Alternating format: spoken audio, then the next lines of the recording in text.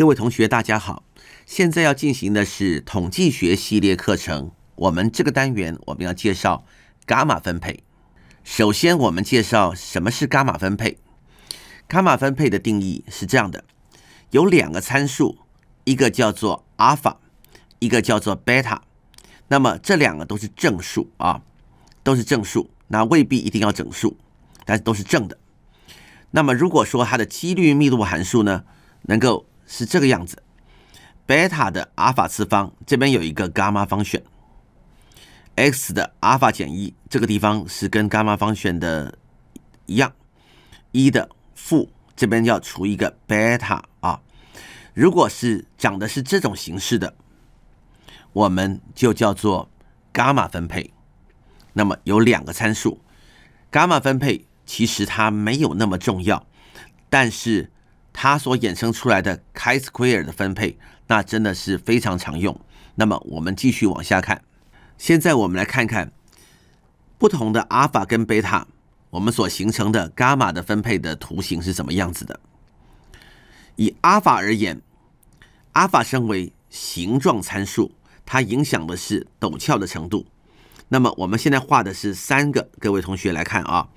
现在贝塔我们的固定控制为一的情况，阿尔法在改变，阿尔法等于一，它是一个严格减函数。阿尔法是二，这个地方有上去再下来，它是一个右偏的一个函数。那么随着这个阿尔法越来越大，它会慢慢的怎么样呢？比较平缓，越来越宽，越来越宽。那么这个叫做什么呢？这个叫做形状参数，这个叫做尺度参数。贝塔值啊，是影响到的散布的程度。如果贝塔越大，那么应该是散布的越宽广。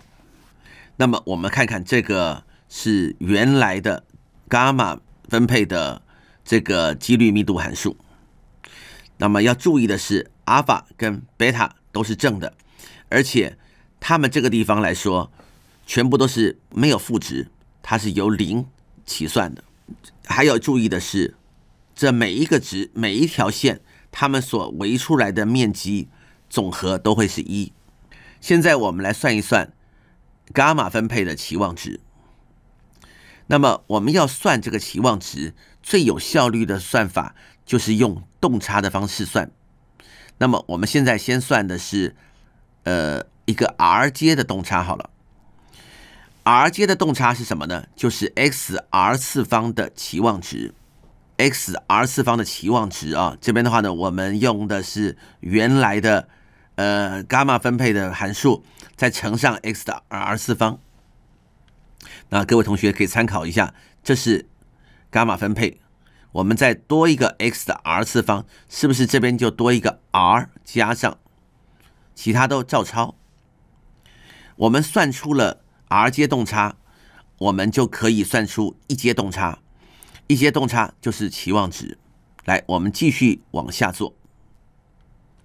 现在我们要利用什么呢？叫做一个技巧，就是伽马方选的一个观念。我们来想一想。为什么要令 y 等于贝塔分之 x 呢？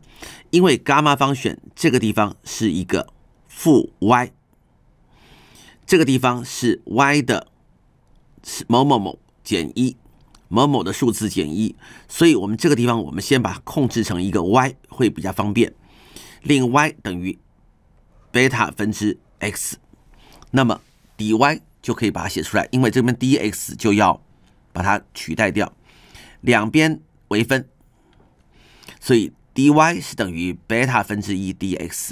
好，现在我们准备要把这个 x 用贝塔乘 y 来带进去，贝塔乘 y 带进去，这个地方 x 把 dx 也用这个贝塔乘 dy 带进去。好，我们全部带进去。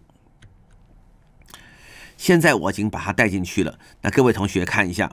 这个地方带进去有没有问题呢？来，我们看啊，这个地方来说，x 叫做贝塔 y r 加阿尔法减一，那么其实就是贝塔的 r 加阿尔法减一，再乘上 y 的 r 加阿尔法减一。因为这个地方啊，这个这是一个积分式，它是对变数是 y，对 y 来积分，跟 y 没有关系的数字，我们通通都可以把它丢到外面去。来，我们看到了没有？丢到外面去，这边照抄。这边的话呢，我们把它丢到外面去，留下一个 y，不能随便丢的，因为它是变数。那么这边是一的负 y 没有问题。那这个地方 dx 就是贝塔乘上 dy。好，那么在下一步，我们可以开始来整理什么呢？这个贝塔，这个贝塔可以丢到外面去啊。所以其实这个可以拿掉，拿掉啊。拿掉的话呢，这个扣一个。那么这个。贝塔的阿尔法次方，哎，这边也拿掉啊，这可没有啊，所以这个地方来说，我们可以变成什么呢？这边照抄，上面是贝塔的 r 次方积分零到无限大，y 的 r 加阿尔法减一一的负 y dy，嘿，这是什么？这个我们快成功了，为什么呢？因为伽马方选，我们再复习一下。它是零积到无限大，那这个地方来说是，呃，x 的阿尔法减一，这个我们用原来的最原始的写法啊，当然用 y 也可以。那各位同学请比照，这边是阿尔法，这边就是阿尔法减一。那这里各位同学你们只可知道它是什么了，就是伽马方选的 r 加阿尔法。来，我们把它改造一下，r 加阿尔法。这是伽马阿尔法，这是伽马 r 加阿尔法。那么可不可以再化简呢？当然可以。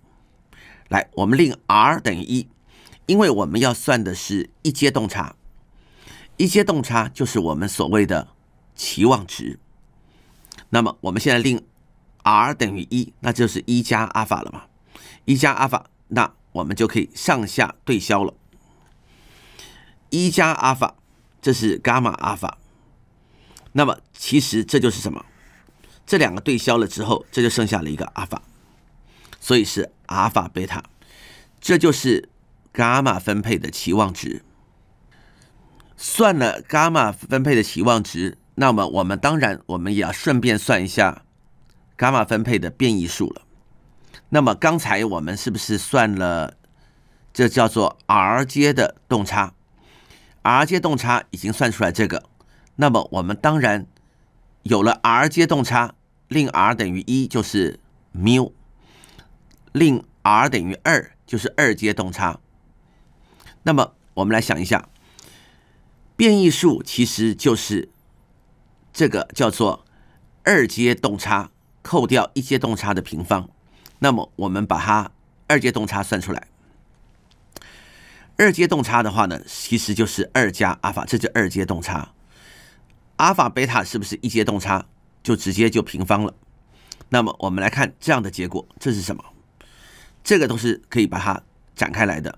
这边是一加阿尔法乘上阿尔法，所以这边就是一加阿尔法乘上阿尔法减掉阿尔法平方贝塔平方。来展开，我们发现什么呢？阿尔法这个是阿尔法贝塔平方，贝塔平方，阿尔法平方提到前面去，剩下这样，这边刚好没有了，所以它直接得到的是阿尔法贝塔平方。这就是我们所谓的伽马分配的变异数。我们了解了这个伽马分配以后，对于后面。就会比较容易。这些计算的过程，如果说各位同学觉得是困难，可以多练习一下，因为曾经计算过以后，对于后面的这个学习是很有帮助的。其实伽马分配啊，它不常用，但是啊，最重要的是什么呢？是 chi-square 卡方分配，就是伽马分配的一个特例。我们学会了伽马分配。我们导出了卡方分配就会非常容易。那么这个单元我们介绍的是动差的一个计算，什么呢？期望值跟变异数。那么需要的是一个基本的观念，就是说我们需要是微分跟积分了。所以让各位同学的话呢，在这个过学习过程之中，如果你们对于微分跟积分有困难的话呢，应该要回去复习一下，这样子对同学来说学习才会完整，才会比较有效率。